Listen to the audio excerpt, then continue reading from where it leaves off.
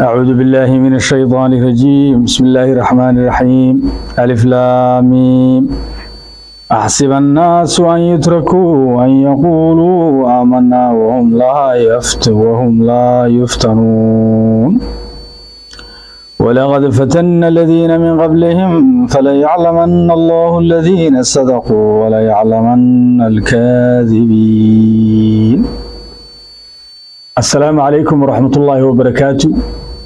Kulanti wanaagsan khayaarta sharafta leh waa sayid cabdiraxmaan iyo maanta iyo barnaamij kale akhyaare insha allahu tacaala barnaamijka maanta wuxuu ku saabsan yahay qofku markuu yidhaahdo muslim baan ahay uu ilaahay rasuulkiisa rumeeyo oo intuu awoodana camal saalax samaysa kadib waxaa dhacda imtixaan baa maaragtay imtixaan buu qofka galaa. Marka waxaan doonayaa maaragtay insha allahu tacaala in hadduu ilaahay idmo aan in tuso sidaad imtixaanada ugu baasi lahayd sidaad maaragtay iimaankaaga iyo islaamnimadaada aad uga dhab sheegi lahayd adoo wax alla wixii ciladaa iyo dhiba ku yimaada turxaan bixinaya iyo guud ahaan saad uga gudbi lahayd. Aynu bilowna casharka. Allah wuxuu yidhi subxaanahu wa tacaala suurat alcankabuud suuradda sagaal iyo labaatanaad ee qur'aanka bismi illaahi raxmaan iraxiim alif laamiim alif iyo laam iyo miim nebigu sala allahu alay wasalam dardaaran inoogama tegin. Culimmada waaweyn eenu tafsiirka ka baranana wax maaragtay cilmiga nooma sheegin macnahooda aniguna cilmi malihi sidaa darteed wallahu aclam. Aayaddaas waa aayadda koobaad allah wuxuu yidhi subxaana wa tacaala aayadda labaad axasiba annaasu dadku ma waxay moodaan an yutrakuu in looga tegi. An yaquuluu aamanaa waayo waxay yidhaahdeen waan rumaynay. An yaquuluu waxay yidhaahdeen aamanaa waan rumaynay oo muslim baan nahay. Masaasay mudan dadku in looga tegayo. Kadib alla wuxuu yidhi subxaana wa tacaala wahum laa yuftanu wahum laa yaftanuun wahum laa yuftanuuna iyada oon la imtixaamin oon la fidnayn allah subxaana wa tacaala wuxuu yidhi walaqad xaqiiqe ee fatanna aladiina min qablihim waa aan imtixaanay oo waa aan fidnaynay aladiina min qablihim kuwii ka horreeyey. Waa muslimiintan hadda dadkii ka horreeyey ummadihii hore macnaha waa la imtixaamay waa la fidneeyey maxaana loo imtixaamay? Falaa yaclamanna allahu aladiina sadaquu. Si alla u calaamadiyo oo maaragtay u ogaado aladiina sadaquu kuwii iimaankooda iyo hanuunkooda islaamnimadooda runka sheegay yaclamanna alkaadibiin iyo si uu alla subxaana wa tacaala u ogaado oo uu maaragtay inoo tuso alkaadibiina kuwii beenta sheegay. Aayad waxa weeye alla subxaana wa tacaala sida qur'aanka in badan inoogu sheegay yaclamu maa bayna aydiihim wamaa khalfahum. Alla wixii horay tegey iyo waxa horreeya iyo waxaad taagan buu ogyahay marka alle maadaama uu ogyahay qofkan islaamnimo inuu ku dambayn had marka la imtixaamo kadib iyo inuu islaamnimadii ku dhiciyo oo munaafiq beenaalaha noqon alle waa ogyahay. Hase yeeshee macnaha ahayd waxa weeye alla subxaana wa tacaala innaga ayuu iskeen tusayaa innaga ayuu iskeen ogeysiinaya uu leeyihiin is arka. Halkaa meelo qaadateen.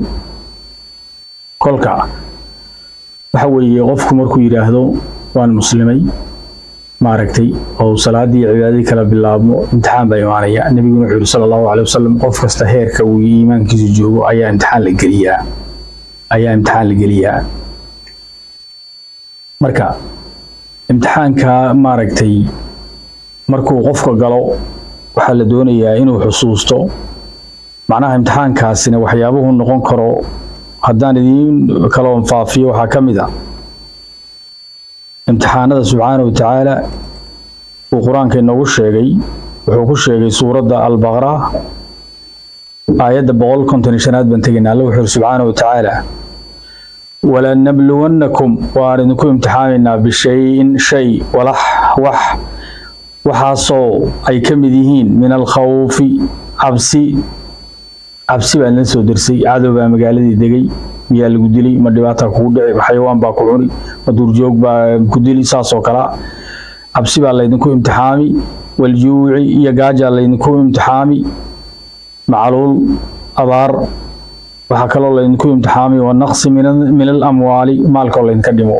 Xoolahagii baa gubtay hadda suuqii hargeysay suuqii jigjiga gubtay waqti yar ka horna suuqii maaragtay boosaaso hadda kadibna gubtay iyo kii hore hargeysa gubtay suuqyadii hore bakaaraho gubtay. Tusaalahaan macnaha saasoo kale maalkaagii oo lagaa dhacay cadow kaa dhacay waxaasoo dhan alle wuxuu leeyahy subxaana wa tacaala wanaqsi wanaqsin min almaali min alamwaali maalkiinoo la nusqaamiyey waa laydinku imtixaami waalanfusi iyo geeri.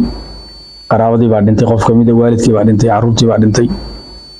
Waxaasoo dhan iyo maxaa kaloo laydinku imtixaami? Wathamaraati beerihii baa hallaabay beerihii waayey hadhuurkiiba badarkii baa la waayey raashin la'aan baa dhacday. Waa laydinku imtixaami buu alla yidhi subxaana wa tacaala alla isagoo sii wato wuxuu yidhi markaa subxaana wa tacaala wabashiri saabiriin u bushaaree nebiyow kuwa saabiriina ee samra kuwa samra. Xusuusta bilowgii hore alle wuxuu yidhi subxaana wa tacaala afa xasiba annaasi an yutrakuu an yaquuluu aamanaa wahum laa yuftanuun marka alle wuxuu subxaana wa tacaala u bashaareey kuwii samray. Alle isagoo subxaana wa tacaala sifadooda sii wata ayaa waxa uu yidhi aladiina idaa asaaba aladiina idaa asaabathum musiibatun. Waa kuwa marka ay musiiba taabato. Asaabathum musiibatun musiibo ay taabato. Qaaluu waxay yidhaahdeen innaa lilaahi annaga ilaahay baa nale ilaahay baanu sugnaanay wa innaa ilayhi raajicuun isaga xaggiisa ayaanu noqonaynaa kuwasaa yidhahda markay dhibaato ku dhacdo waad aragteen social media ama meelaha kale ama dadku wax isku sheegaan qof markuu dhinto waxaa koobaada la isku wargeliya wuxuu yahay innaa lilaahi wa innaa ilayhi raajicuun innaa annaga lilaahi ilaahay baanu sugnaanay ilaahay baa nale wa innaa ilayhi raajicuun isaga xaggiisaanu noqonaynaa alle wuxuu subxaana wa tacaala kuwa markay dhibkaa ku gaaraan dhibkaa weyn markuu gaaro oo ah xabsi macluul iyo gaajo maalkii oo laga dhimay xoolihii hantidii oo ka baabaaday dadka dhintay beerihii oo ka hallaabay ama ka gubtay ama laga dhacay ama dhib kale ku timid ee haddana samra. Alle wuxuu yidhi subxaana wa tacaala kuwa sifada macnaha dhaqankaale wanaagsan ee samirka ah ee ay yidhaahdana innaa lilaahi wa ilayhi raajicuun fiirsada wuxuu alle yidhi subxana wa tacaala abalmarintooda alle wuxuu yidhi subxana wa tacaala ulaa'ika calayhim kuwaas waxaa korkooda buu dhahay subxaana wa tacaala kuwaas waxaan ku tuuray oo waxaa korkooda ah salawaatun min rabbihim baleesin iyo barako. Ayaa korkooda buu yidhi alla subxana wa tacala allah barakeeye kuwaasaa yidhaahda. Markuu dhib ku dhaco. Min rabbihim rabbigood bay uga timid barakadaasi. Wa raxmatun iyo naxariis alla uga timid. Allana subxaana wa tacaala wuxuu ku soo gebagabeeyey oo uu yidhi wa ulaa'ika hum lmuhtaduun kuwaasina waa kuwa hanuunsan. Si dhabay u hanuunsan yihiin. Soo ma aragtid markay dhibaato ku qabato wax kasta oo dhibo kula soo darsa markuu kuu yimaado waa inaad tidhaahdid innaa lilaahi wa innaa ilayhi raajicuun. Horena u socotid ha ka shallaynin awalba annagaba ilaah nale maalka ilaah baa le nafta ilaah baa le beeraha ilaahay baa le maaragtay hadduu ilaah idiin rooyey wax walba ilaahay baa le marka waa inaad tidhahdo innaa lillahi wa innaa raajicuun horena uga sii socoto. Weligaa ayaa laha shallayn qoomamada ama shallaydu waa camal shaydaan. Kolka waxaa layidhi markay dadka dhibaato ku dhacdo dadku si kala duwan bay maaragtay dhibkaa gaaray ay uga maaragtay ay uga jawaabaan. Osaan idiin sheegay qaar baa dhihi macnaha dee fidno yaroo imtixaan yaroo soo gaaray salaadiibuu ka tegey ama saasoo kale ama uu iska carari. Dhib kalaa u yiman soo ma lama rabo waxaa inaad samayso waxaa la doonayaa in allana uu kuu sheegayba. Alle wuxuu kuri subxaana wa tacaala markaad tidhaahdo muslim baan ahay oo tidhaahdo ilaahay rasuulkiisaan rumeeyey u diyaargaro imtixaan. Imtixaankaasi qofba inbuu ku socdaa dad buu bilo ku socdaa dad buu toddobaad ku socdaa dad buu sannada ku socdaa. Marka adigu iimaankaaga hagaaji ogowna inaad teesto iyo imtixaan ku jirtid minallahi ka yimid. Ilaahayna kaalmayso. Ilaahayna waa inaad kaalmaysid. Marka waxaa loo baahan yahay macnaha inaad ogaatid in hadduu ilaahay ku roon yahay waxa ku haysta uu yahay imtixaan ilaahay. Marka qodobadan soo socda ayaad qaadaysaa si aad imtixaanka ugu baasto. Waa marka ugu horeyse waa inaad naftaada daacad ka noqotid. Waa inaad daacad u noqotid ood maaragtay daacadnimo tustid mukhlis inaad tahay qof daacad inaad tahay waxaana maaragtay uu maaragtay imtixaan yahay aada xusuustid waa inaadan alla u cadhoon subxaana wa tacaala oodan dhihin waayo allah igu sameeyey inta badan dadkiina waddamada galbeed ka maqla waxay dhihi waxbay samayn gafada beri weliga allihii fisqigii waxbuu ku jiray markaasaa dhib yar markay ku dhacdo wuxuu dhihi did to me? Muxuu alla saan igu sameeyey subxaana wa tacaala marka koobaad ilaahay waa facaalu lima yuriidu buqro inoo sheeg wax walba kitaab qura ku jira. Alla wuxuu subxaana wa tacaala anigu waxaan rabaa ayaan sameeyaa. Facaalu lima yuriid waa aayad qur'aana. Alla wuxuu rabuu sameeyaa. Aayad kalena alla wuxuu subxaana wa tacaala yafcalu maa yashaa wuxuu sameeyaa wuxuu rabo kolka adigu addoon baa tahay xusuuso. Ilaahay baa kule haddaad tiri ilaahay waan ku rumeeyey kadibna imtixaanka u adkaysto. Marka marka koobaad qodobka koobaad waxaad yeelaysaa waxa weeye waxaad samaynaysaa daacad ka noqo waxan. Ogowna macnaha inuu yahay tallaabadii koobaad ee maaragtay broseskaagii hiilinka ahaa iyo inaad caafimaaddo ood imtixaankii ku baasto. Dhibka ku gaaray waxaas macnaha waxaasoo dhan ha ka yaxyaxin hadhihin waa saas waa amar ilaahay xusuuso inaa lilaahi wa inaa ilaahi raajicuun. Dheh hore u soco hana ka hadlin hana dhihin. Macnaha muxuu waxaan igu dhacay. Qodobka labaad waxa weeye waa inaad maaragtay qabka iyo isla weynida kugu jira. Aad gebigiisaba jejebisid ood alla subxaana watacaala dhulka isla dhacdid. Waa inaad alle u sujuudid waa in wax alla wixii qabay kugu jira aad tuurtid waa inaadan maaragtay fiirsan qof kaa maaragtay ama kaa maal badan ama kaa wax wuxuun raaxadan adduunka ku dheer qiimo darantan adduunyada ah oo alla yidhi subxaana watacaala wamaa haadihi alxayaatu dunya ilaa lahwun walacibun waa madadaalo iyo ciyaar iyo dheeldheel qof ku dheer wuxuu hadduu jiro iska tuur. Ilaahay u soo noqo adigu sujuud. Sujuuduna ogow hadda waa calaamada koobaad inaad khushuucsan tahay ood hambal tahay alle isku dhiibtay weeyaan. Sujuudu ciyaar maaha sujuudu ciyaar maaha. Addoon aan ilaahay ka baqin ma sujuudo salaadu waa calaamada koobaad ee muujinaysa inaad ilaahay ka baqday oo aad maaragtay humble yourself isku samaysay aad iskhushuucisay ilaahay isku duleysay marka tallaabada koobaad waxa weeye isla weynihii kibirkii waxaa tuur ilaahay isku duleeyey marka waxaadna ogaataa isku duleynta alle isku duleysaa subxaana watacaala daciifnimo maaha maaragtay qiro inaadan adigu awood lahayn. Wax walba oo noloshaada ku yimid waad balangaraysay kanaad samaysay kanaad samaysay ogow wax walba noloshaada ma maalayn kartid ma maarayn kartid mana maamuli kartid. Amarkeenna amarka ilaahay baa yaa ka sarreeya. Taasuu alla yidhi subxaana watacaala sababtu alle u yidhi wa ilaahay waa ka sarreeya addoommadiisa subxaana watacaala waxaa saad ogtihiinna waa kala yidhi lahu lmulku boqortooyada ilaahay baa leh walahu alxamdu haddana allaa leh walahu lamru amarkana isagaa leh walahu lxukmu xukunkana isagaa leh kolka wax alla waxaad adigu qorshaysay ee balaangaraysay qorshaha ilaahay baa ka weyn ogow halkaa meela socotaa marka wax walbana ma kontrooli kartid mana maamuli kartid marka ogow maaragtay hana rumaysanin in waxaan kugu dhacay uu yahay macnaha waxaadi gooni lagula fiirsaday hase yeeshee waa imtixaan iyo fidna lagu mariyey kolka waa inaad maaragtay ilaahay u timaadid addoonnimadaada qiratid isla weynihii kibirna tuurtid. Alla wuxuu yidhi subxana watacaala fiiri aayadda qur'aanka am lilinsaani maa tamanaa dadka ma waxa u sugnaaday waxay jeclaadeen. Haye maanta waxaad doonaysaa waxaasi waxaasi waxaasi waxaas dee ma helaysid. Waanaad heli kartaa. Waayo amarka ilaahay baa le kolka alla wuxuu yidhi subxana watacaala am lilinsaani maa tamanaa dadka waxay moodeen inay u sugnaatay oo ay helayaan. Wax kastay tamanaa jeclaadaan oo rabaan. Ma garateen. Kolka alla wuxuu yidhi subxana watacaala falilaahi alaakhiratu waluulaa. Ilaahay keliya ayaa iskale aakhiro iyo waluulaa adduunyadan ta hore ta dambe iyo tan hore oo adduunka ah ilaahay baa iskale subxaana watacaala kolka waxa weeye adigu waxaad yeelaysaa isla weynida ka bax amarka ilaahay baa iskale qodobka saddexaad waxa weye aad samaynayso istus inaad ilaahay u baahan tahay oo duca bilow waa inaad duca bilowdid waa dhibkii ku gaaray macnaha. Waa inaad duca bilowdid oo imtixaan inaad ku jirta xusatid ood ilaahay isku dulaysid taana alla subxaana watacaala wuxuu nagu tusayaa nebi ayuub oo kale calayhi salaam. Waad ogtihiin maalqabeen buu ahaa. Awlaadii maalkii oo dhan baa ka baaba'ay. Dhibaataa ku dhacday dirxi baa korkiisa galay. Waad ogtihiin qisooyinkii waxba maaragtay ka sheekayn maayo. Qisada nebi ayuub waa caan. Ilaa islaantii ugu dambeysay xataa maaragtay xaaskiisa ay ka tagto dhibkaa gaaray kadib waa kii dacwooday uu yiri. Waa kuu yidhi acuudu billahi min ashaitaan rajiim. Wa ayuuba id naadaa rabbahu. Xusuuso markuu nebi ayuub calayhi salaam id naadaa rabbahu. Markuu rabbigii u qayli uu rabbigii u cabaaday uu rabbigii u dacwooday isagoo leh anii masaniya durra yaa rabbi dhibaata i taabatay wa anta arxamu raaximiin adiguna waxaa tahay inta naxariista ka ugu naxariista badan.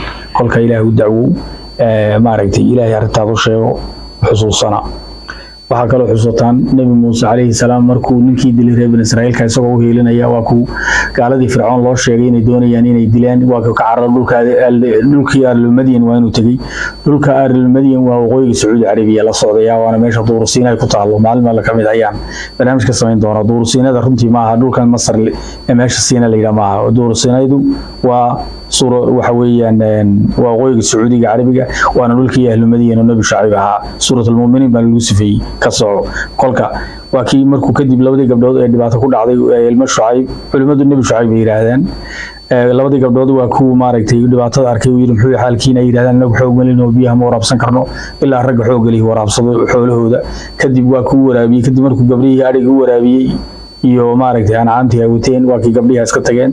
Isagii marka nebigii calayhi salaam geed buu hoos hoos fariistay markuu geedku hoos fariistay waa markuu waraabiyey kadibe ayaa hoos buu fadhiistay. Wuxuuna yidhi faqaala rabbii innii innii lima anzalta ilaya min khayrin faqiirun faqiirun. Wuxuu yidhi ilaahi subxaanahu watacaala faqaala rabbii innii lima anzalta ilaya min khayrin faqiirun ilaahay wuxuu yidhi subxaanahu watacaala waxaad ii soo dejiso aniga eed siiso ee khayra faqiir baan u ahay waan u baahanay weeye. Kolka tus baahidaada ilaahi subxaanahu watacaala sidoo kale nebi yuusuf calayhi salaam markii walaaladii ceel ku rideen waa kii odaygii ay been u sheegeen ay yidhaahdeen dhurwaaya ama saasoo kale waxbaa cunay. Wiilkii yiraadii baa cunay. Oo khabiiskii dhiig soo mariyaan waa kii nebigiina marka aabihii oo isla nebi ahaa nebi yacquub ilaahay buu dacwooday. Isna wuxuu yidhi qaala inamaa ashkow qaala inamaa ashkow ashkow waa ashkatu ashkatu soomaali keliyaan isticmaasha erigaa inamaa ashkow waxaan u ashtakoonayaa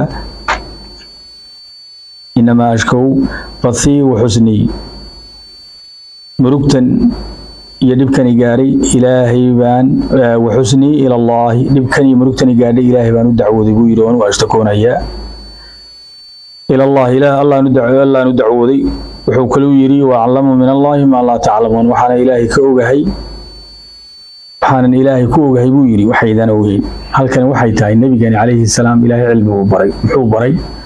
Nebi ibraahim qowmkiisii markuu la hadlayay wuxuu yidhi naxariista ilaahay ka quusanina naxariista ilaahay waxa ka quusa keliya qowm daalimiina maaragta halkan sirtan.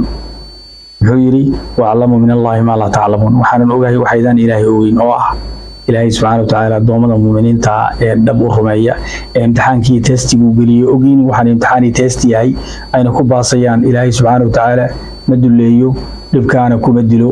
Hadday ku dhintaan oo timaado xataa ku dhintaanna jannadii ka wanaagsaneed bay tegayaan adduunyada. Kolka xusuuso macnaha waa inaad iimaanka yeelato waa in markooda ogaato inaad maaragtay saasoo kale imtixaanka ku jirtid waad ku baasi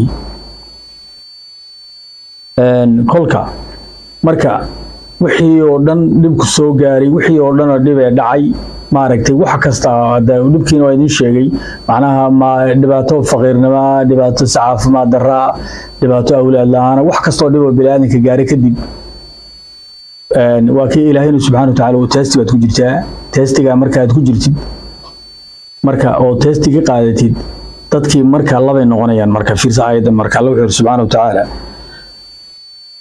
ومن الناس dadka waxa kamida ومن الناس dadka waxa kamida man yacbud الله على حرف qof qof alla u caabudo sidii soo qarka laalaada qarbuba ka laalaada soo qar uga laalaada fiirsaya qarbu ka laalaada baa leeyay ala har ala harfin sidii soo meel qara ka laalaada oo kale soo uga laalaaba fa in asabahu khayrun adma'anna bihi hadii khayr iyo wanaag cibaadadiisii uu awalba ku jiray uu alla ku caabudayay cibaadadii alla ku caabudayay iyo diin islaamkii khayr ku jiray haddii khayr ugu yimaado khayrka inta badan culimmadu islaamku maalka iyo wax kastoo wanaagsan awlaad wax walba oo maaragtay adduunyadan ku farxa khayr baa la yidhaahdaa. Haddii khayr uu ku helo oo suur rabe ay u noqoto oo wax kasta dee layskugu daro oo arrintiisii toosto wax kastaba ay u noqoto suur rabay adma'ana bihi cibaadadii ilaahay uu ku xasili gud muslim buu noqon muslim wanaagsan buu noqon maaragtaan fiirsahada qaybta labaadna waa in asaabadahu fidnatun hadiise masiiba asiibto. Masiibadaad maxay tahay? Waataan ka soo sheekaynay geeri baa ku timid. Maalkii baa ka dhammaaday. Xoolii baa ka dhammaaday. Beerihii ama badarkii ama raashinkii baa ka dhammaaday. Dhibaato kale oo adduunya baa ku timid. Caafimaad daraa ku timid. Waxaasoo masiiba hadday ku timaado. Waa in asaabadahu fitnatun waa fitne. Fitna hadday ku timaado. Alla wuxuu subxaana wa tacaala anqalaba calaa wajhi kadibna uu gadoomayaaba uuba iska diyeyba wejigii uu gadiyey diintiiba ma rababa. Islaamnimadii iyo cibaadadu ku jiray maba doonayaba xusuusu alla wuxuu subxaana wa tacaala wamin annaasi man yacbud allaha calaa xarfin. Awalba kaasi qar buu ka laalaaday muslin adag ma ahayn. Qof muslin oo maaragtay stronga oo muslim libaaxa muusan ahayn oo diinta ku adkaysanaya deen alle muxuu yidhi subxaana wa tacaala maatan aayadda ugu naxdinta badan qofka muslimkaa marka la imtixaamo hadduu imtixaankii ku dhaco waa kan marka aayadda ugu naxdinta badan alla wuxuu yidhi subxaana wa tacaala. Qofkii markii la imtixaamay kadib imtixaankii isku riday oo suu rabay uu waayey oo waxba uu waayey wuxuu baryay baryadii ilaahay uu moodo inuu ku khasaarada baryadii laguma khasaare waqtiga unba yar dheer baa laga yaabaa. Waqti dheeridan waxaa keenta saan camal saalaxa saan u kala qalbi wanaagsannahay ilaahay ugu dhownahay ayaa keenta. Waxa weeye markaad ilaahay u dhow sii dhowaataba subxaana watacaala oo adduunyadaad ka haajirtay xusuusa hadda ilaahay lagu nacab adduunyadan labadaasina waa labada dadka mashquuliyey waana labada dadka gaaday. Waa shaydaan iyo adduunyo. Shaydaan iyo adduunyo nac ilahay baad automatic u dhawaanaysaa. Maalin maalmaha ka mid a nebiga ayaa nin baa u yimid sala allahu calayhi wasalam markaasaa wuxuu ku yidhi akhbarnii yaa rasuulullah camalan idaa camaltahu axabani allah waxabani naas. Wuxuu yidhi nebi allow sala allahu calayhi wasalam ii sheeg camal iiga waran camal. Haddaan sameeyo uu alla subxaana wa tacaala ay jeclaan dadkuna ay jeclaan. Nebigu wuxuu yidhi sala allahu calayhi wasalam qaala rasuulullah sala allahu calayhi wasalam ashad fi dunya yaxbaka allah. Iskaga ka saahid iskaga tag adduunyada ilaahay baa ku jeclaanay. Wa ashad fii maa cinda annaasi yaxbuunaka kana sidoo kalena nebigu wuxuu yidhi sala allahu calayhi wasalam ka haajir oo iska daa waxaa dadka agtooda dadkaa ku jeclaan maxay tahay? Maalkooda xaaraan ha ku cunin baryo xad dhaafana ha samaynin u daa dadka xoolahooda damcigii ku gelin faraha ka qaad. Wakaa adduunyada nac oo iskaga haajir ilaahay baa ku jeclaan dadkana maalkooda ha dhicin hana xadin baryo zaa'idan ha ku samayn.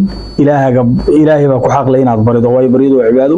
Nebigu wuxuu sal slam labadaas samee ilaahay iyo addoommadiisa ku jeclaan. Kolka qofkii markii uu aaminsan yahay inuu waxba waayey oo imtixaankii fidnadii ku dhacay alla wuxuu yidhi subxaana wa tacaala uu wejigiisiina gediyey uu gebigiisaba khadkii iska saaray alla wuxuu subxana wa tacaala khasira dunya walaakhira khasira dunya walaakhira kaasi adduun iyo aakhiraba wuu khasaaray acuudu billaahi min ashaytaan rajim ilaah naga kori. Khasira dunya walaakhira kaasi adduun iyo aakhiraba wuu khasaaray ha noqon saas. Xusuuso inuu imtixaan saaran yahay. Aayad kaloo maaragtay suurat naxl allah wuxuu sheegay subxana wa tacaala sababta dadku u gaaloobaan ama ay diinta u caasiyaan ama ay cibaado darrada ugu wacan waa ad iyo jacayl ogow shaydaanku meeshaad daciif ka tahay ayuu kaa soo geli haddii maaragtay lacag la'aan ku hayso xaggaasuu shaydaan kaa werari awlaadda dhib ka jiro guurka mid dhib ka jiro nolosha dhib ka jirto haddaan fidnadan qabiilka ay soomaalidu isku haysato dad baa lagu fidneeyey oo maaragtay waa langaab la dhihi lagu caayo lagu caayo. Subxaana wa tacaala ilaa uu diinta la colaysto oo maaragtay cuqdad ka gasho. Wareedhe waxaasoo dhan waa camala shaydaan. Shaydaanku yuu kaa soo gelin meeshaad iinta ka leedahay. Shaydaanku waa yaqaanaa. Shaydaanku qof kastoo bini aadana macala aabbihi awowgeena aadan buu ka weynaa he knows everything about us. Wax kastoo innaga waa ogyahay daalimkaasi.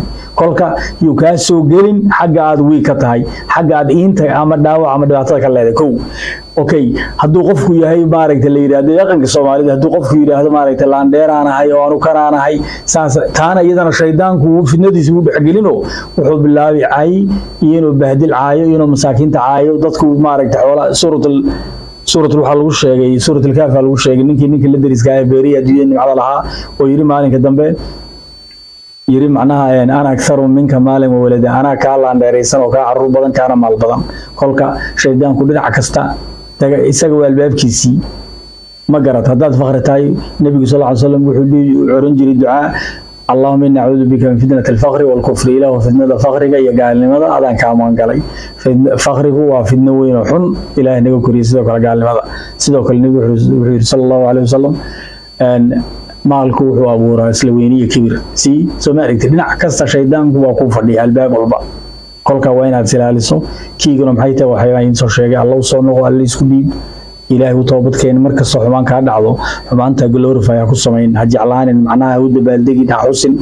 Ilaah way cafidhi mar kastoo dembi samaysid alla u soo noqo alla subxaana wa tacaala addoommadiisa waaweyn ee maaragta ambiyada ahaa ee qur'aanka laynoo sheegay wuxuu ku ammaanay wuxuu yidhi inahu awaab wuxuu ah ilaah addoon ilaah u soo noqo mar walba soo u noqoshada ilaahay u soo noqo ilaahay xusuuso.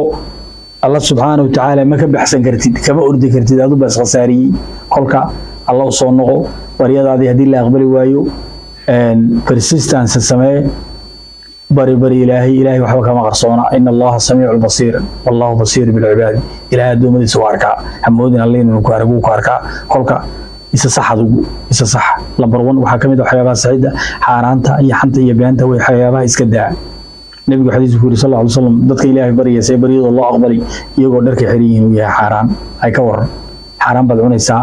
Xaar xaaraan baad gashan tahay bilaqad ku jirtaa guri dad ku jirtaa. See baryaada loo aqbalay daalin tahay. Kolka waxaasoo dhan markoobaad iska nadiifi ilaahay uu soo noqo.